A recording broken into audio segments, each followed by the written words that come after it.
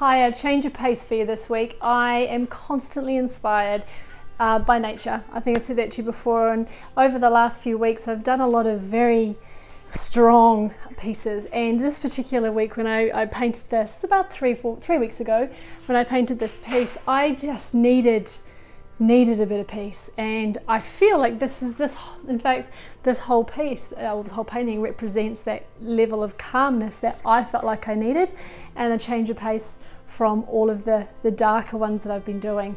And when I look outside my uh, my studio window, all I see is trees and beautiful softness. And this is a it's interesting, it's a new one for me because I don't often paint so white. Normally I do have a lot of bold colors and I enjoyed painting this because of that difference.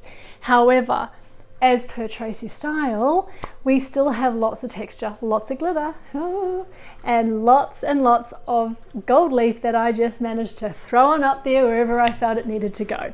Case in point, in the sky, in the land, and just because we can, a nice straight line of gold, well, straight as you can on texture, straight line of gold to frame the piece and give it a little bit of uh, perceptive perspective, I guess. It looks like you're looking through into something.